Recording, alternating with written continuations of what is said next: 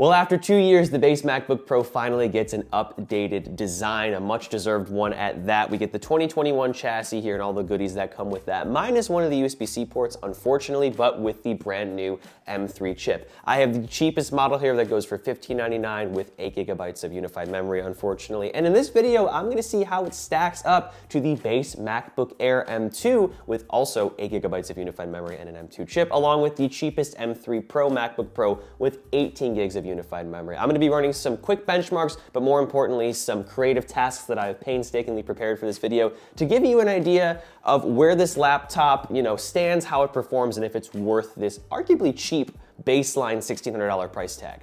All right, so for our testing, we have a base 2022 MacBook Air 13 inch to sort of serve as a baseline for benchmarks and of course the creative tests. It has a 3.48 gigahertz M2 chip and is paired with 8 gigabytes of unified memory. Next up, of course, we have the brand new base MacBook Pro 14 inch with a 4.05 gigahertz M3 chip, also paired with 8 gigabytes of unified memory. And last up, we have the cheapest Space Black MacBook Pro 14 inch with a 4.05 gigahertz M3 Pro chip, paired with 18 gigabytes of unified memory. After running Geekbench 6, the base M2 MacBook Air scores 2645 single core and 9935 multi-core. Next up, the M3 MacBook Pro scores 3169 single core and 11830 multi-core, a 17% and 16% improvement over the M2 respectively. And last up, the M3 Pro MacBook Pro scores a similar 3187 single core, but a higher 14254 multi-core, an 8% improvement over the M3 and a 30% improvement over the M2 multi-core and respectively, of course. I also ran Cinebench on all three of these devices. The M2 MacBook Air scored 8211, the M3 MacBook Pro scored 10341, a 21% improvement over the M2, and finally the M3 Pro MacBook Pro scored 13, 192, a 22% improvement over the M3 and a 38% improvement over the M2. But as you will come to find, benchmarks are not everything. So with the benchmarks out of the way, we can kind of see how the M3 MacBook Pro stacks up on paper, but now let's see how it stacks up in practice with some real world creative tests. And I know there's more to creative work and just pro work besides photo editing and video editing, but this is primarily what I do. And I can definitely tell the differences between, you know, extra RAM, extra horsepower, GPU, CPU, etc. So first we're gonna start off with the base M2 MacBook Air. You can get this for 999 from Apple. It's an eight gig variant, so that should sort of match up with the eight gigs in the M3 MacBook Pro. And of course, I will get to the M3 and the M3 Pro MacBook Pro later on. So first up, let's start with some Lightroom photo editing. Um, I love Lightroom for editing raw photos and also thumbnails, and these are a few photos that I took for my next Skyline wallpaper pack, so stay tuned for that here. I've chosen this image because I think it's quite interesting here, and I'm going to try to apply the same edit across all three tests here with each laptop to be super scientific, especially when I end up copying the effects to all of the images and exporting them and timing that. So let's affect, or excuse me, adjust exposure first up, see how that does. So I'm gonna say negative 0.26 should be good. Let's up contrast. Everything's going well. Photo editing is a really, I wouldn't say easy, but straightforward process for any processor above, you know, M1, I would say. So, so you're not gonna see that much of a difference across the board here, editing an individual photo, but again, export times will vary. Um, let's adjust shadows maybe, um, white, and uh, maybe add some sharpness. So I'm actually gonna round these out. So 60 sharpness, we'll do 15 texture, 15 clarity. Uh, what else here? I'm gonna add some saturation. How about 10 saturation? I'm just sort of exaggerating the colors, making it more contrasty. 15 contrast, negative 0.25 exposure. Okay, so I've adjusted exposure, contrast, highlights, shadows, um, saturation, and added some clarity and texture and sharpening. So before and after, we can see that here. Let's apply this effect to all the rest here. So I'm going to Command C, and then I'm going to individually copy these over. I tried to do it all at once yesterday, and I couldn't do it. Maybe I'm just a noob at Lightroom, but copying the effect here, copying the effect here. This is going pretty smoothly, um, as you can see. So yeah, as you can see here, every single one of these photos has the effect now. I can zoom in, I can zoom out, I can also sort of scrub through them here, no problem. The M2 chip is handling this quite well. So yeah, as you can see here, photo editing individual photos, even at high resolutions like 33 megapixels and RAW, even on a base M2 MacBook Air with eight gigabytes of memory and no fan is a dream of an experience, no lag, no stutter when you're you know adjusting the settings and stuff. In the next two tests, I'm gonna skip that entirely and just get to the export times or time, uh, which is the next thing that we're gonna do here. I'm gonna export 17 edited raw images here again, all at 33 megapixels. So I'm going to click the export button. We're gonna export them large or 100% quality edited into a folder on my desktop. And I am going to time this process right now. So here we are here, timer is ready. Three, two, one.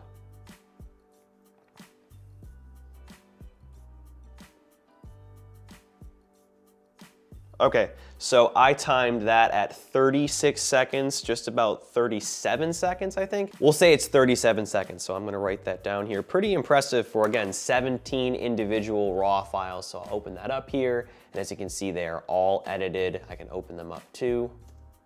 There we go. Um, so impressive even for a base MacBook Air, but next up, let's test out the M3 MacBook Pro. All right, so I got the M3 MacBook Pro connected for Lightroom and let's jump right back into editing here with this image. I'm gonna just do some edits just again, just sort of like haphazardly, then I'll copy the correct ones and do a little export. So, you know, adjusting highlights, contrast, shadows, um, again, this is a very similar experience, maybe a little more snappy, but you know, again, this isn't like the craziest, most intensive workflow, um, at least again, individually editing photos, but let me reset the edits on this image here and copy the one I did last time over so we can test out export times. So reset edits, and again, here are the original edits that I did from the previous test with the M2 MacBook Air, so I will copy them over here. And yeah, we can now uh, edit, or excuse me, export 17 raw photos at 33 megapixels apiece to the desktop and see how long this takes. So again, uh, large 100% quality in three, two, one.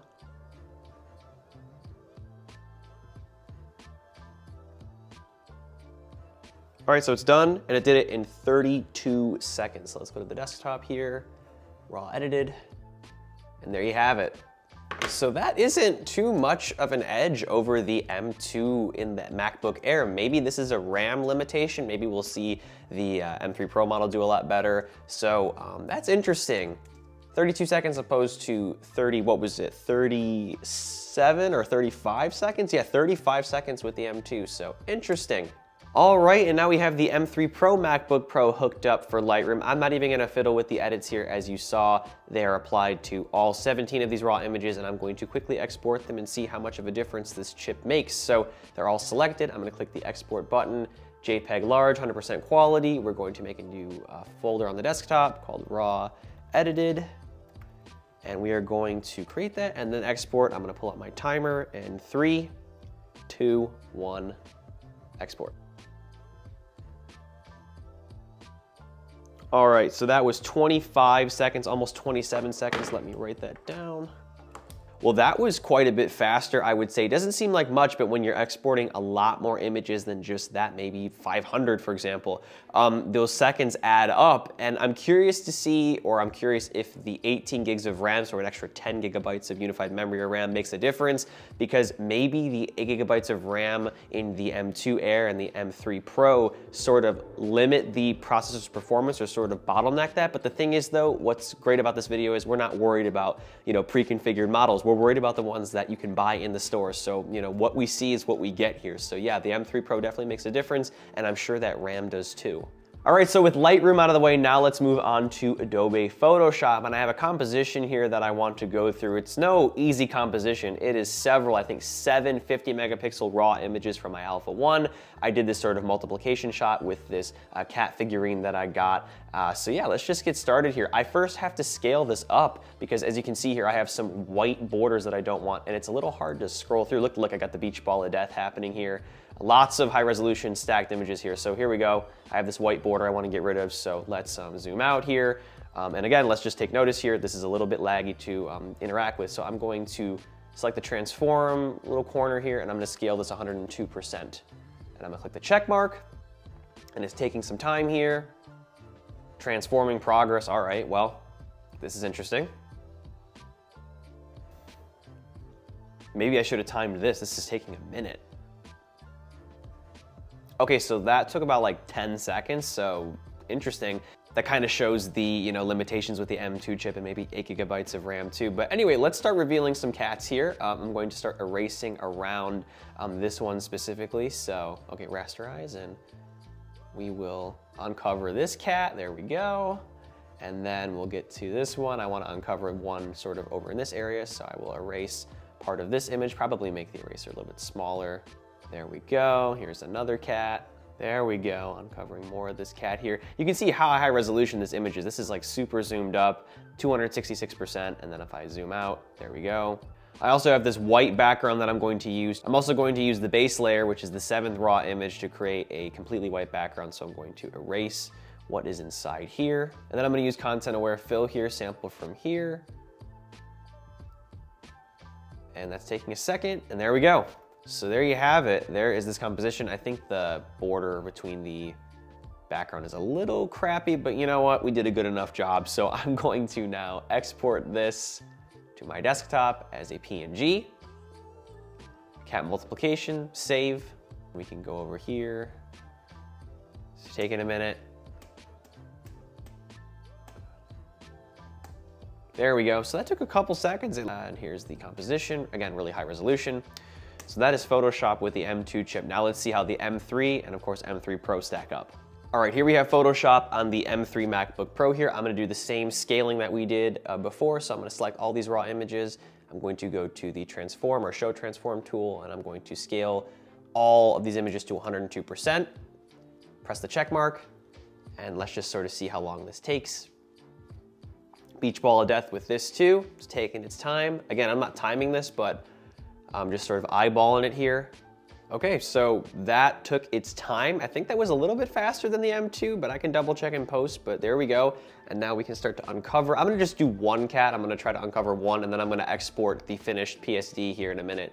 So let's just uncover one or two cats here, because I don't have all night to edit this video. Um, so we'll make the eraser tool big. Here we go. So here's one great. So I mean, the overall experience um, is about the same, a little bit of lag there as you can see, um, but maybe a little more responsive. Maybe that's in my head, I don't know, maybe this is a sugar pill situation, but um, you know, again, similar sort of navigation experience. But anyway, let's export the final product here that I made on the M2. So here we go, I'm zooming in, zooming out. Um, pretty responsive, a little bit of lag actually, there we go.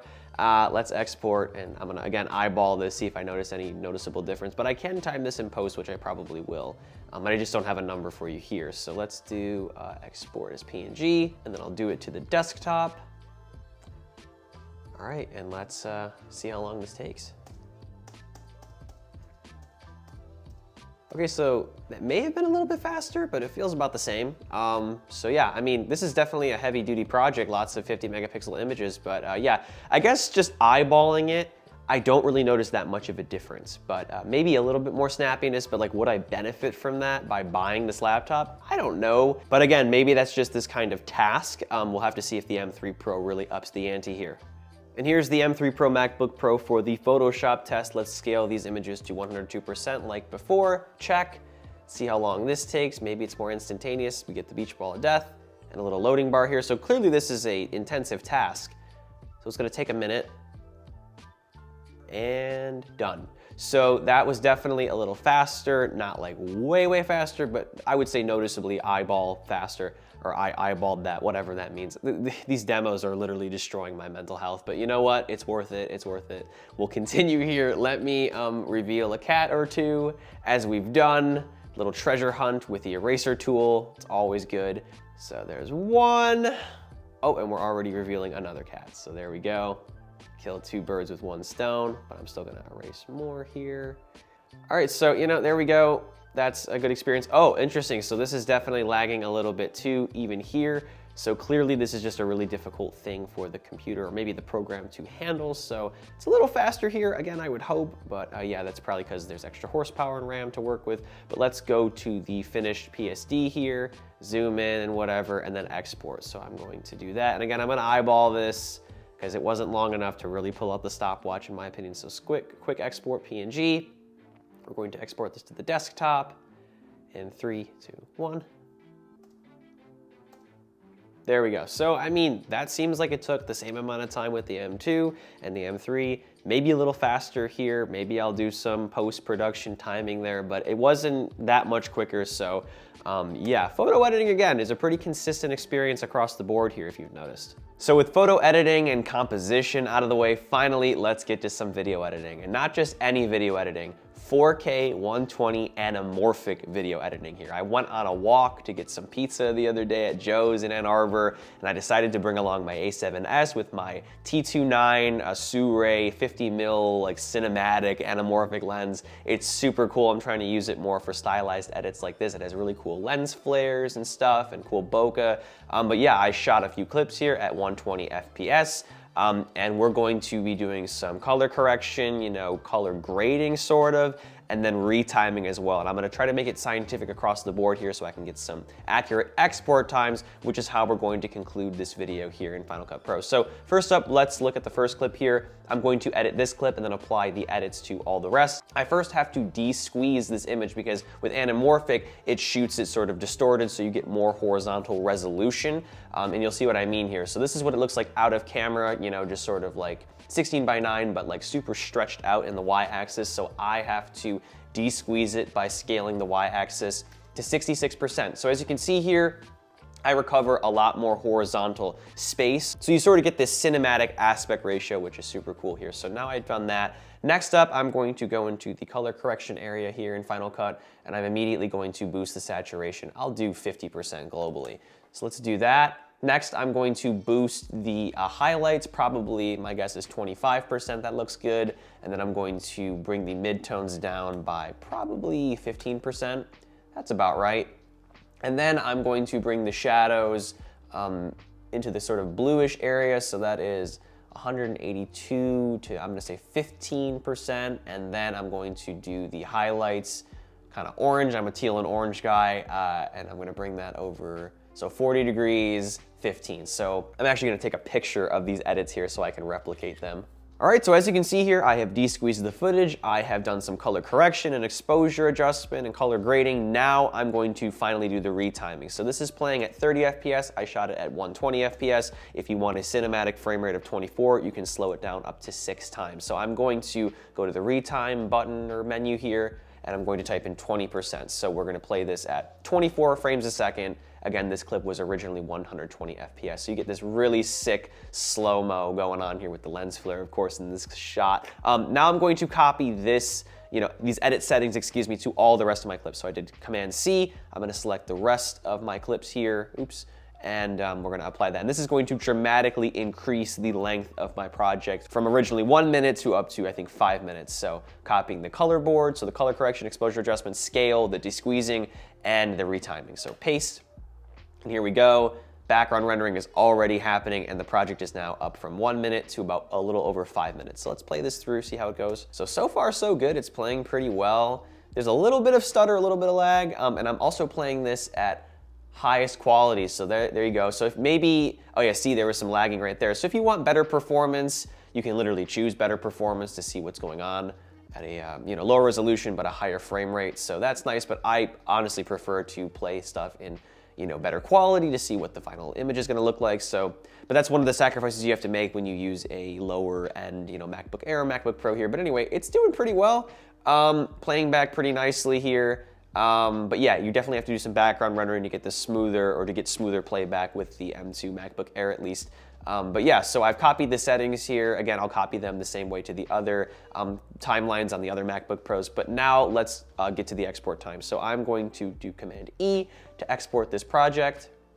And it's taking a minute. Do you see that lag there? Wow. So 4K 120 test, I'm going to export this H.264, so compressed. It's, a, it's an estimated 2.65 gigabytes, and I'm going to export this to my desktop. And I'm gonna bring out the timer here in three, two, one, go.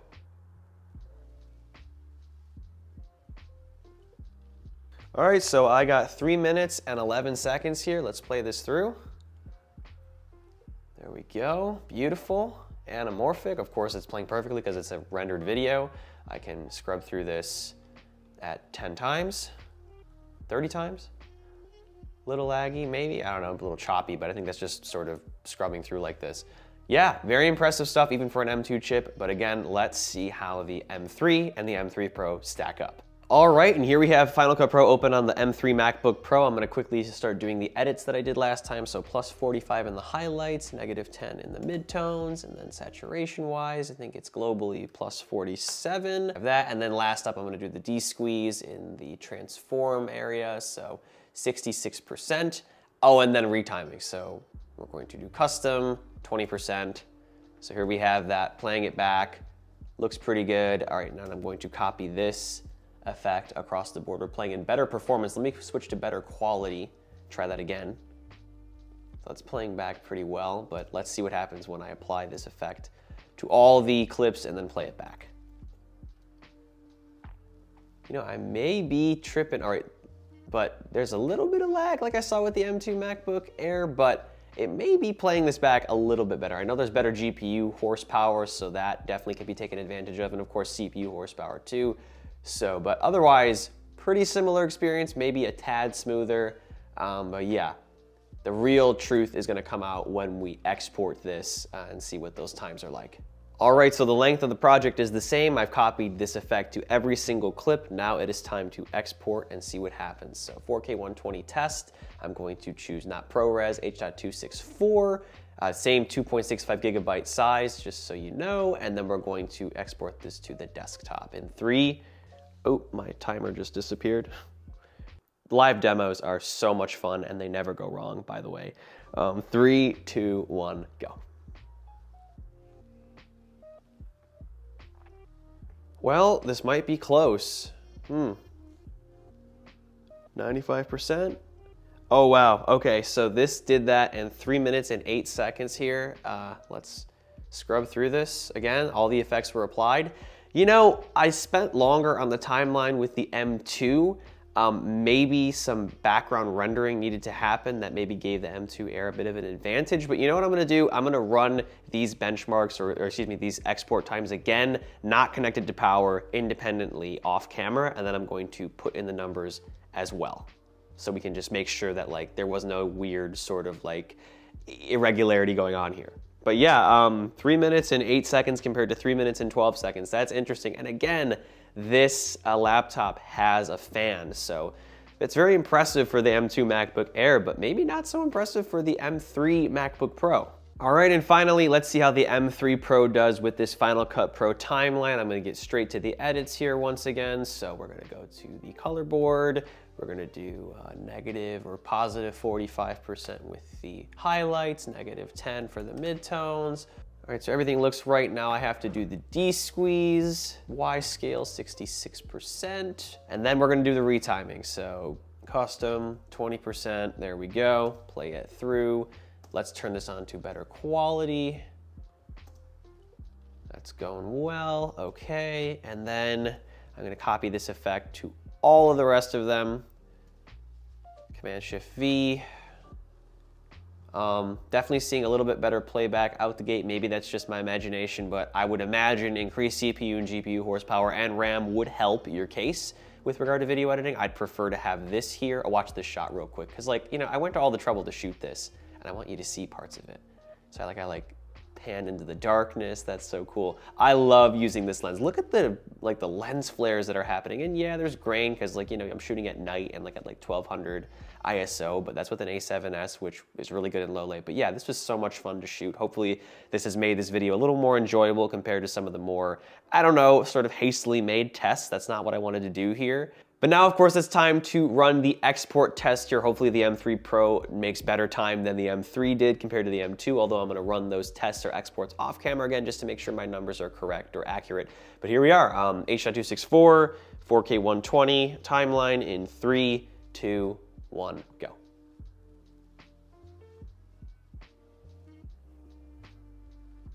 All right, so this rendered in two minutes and 56 seconds. Pretty close, I would argue. I mean, I definitely could tell that the timeline was a little more responsive because of the extra graphical horsepower, CPU horsepower, and RAM, but I mean, the export times, not that much different. Maybe if you have a longer project with more layers and stuff, that would make a difference. But you know, it's pretty impressive how a $1,000 MacBook Air exported this just about as fast as the uh, $2,000 MacBook Pro that I have here. So let me write this down, 256, 74, so 257 more so. Okay, here I am off camera. We have all three MacBooks in question lined up. Here we're gonna render the video again here and I have a stopwatch to see just how long these take again. No background rendering happening. It's all an equal playing field, you know, really controlled environment. Let's see what happens. All right, so they've all finished exporting here. Let's look at the times. So the M3 Pro did it in three minutes, almost exactly. The M3 model finished eight seconds later, and then the M2 MacBook Air finished about seven and a half seconds later. So about eight second delay um, between each of these laptops, which is not a lot, especially considering how much cheaper the M2 MacBook Air is. And for your reference and recollection, here's a little visual with all the export times and their respective applications and of course processors. So what have we learned here? What are my final thoughts after sitting here for an eternity doing these demos? Um, I'm surprised that there isn't more of a difference between the M2 MacBook Air and of course the M3 Pro compared to the M3 here.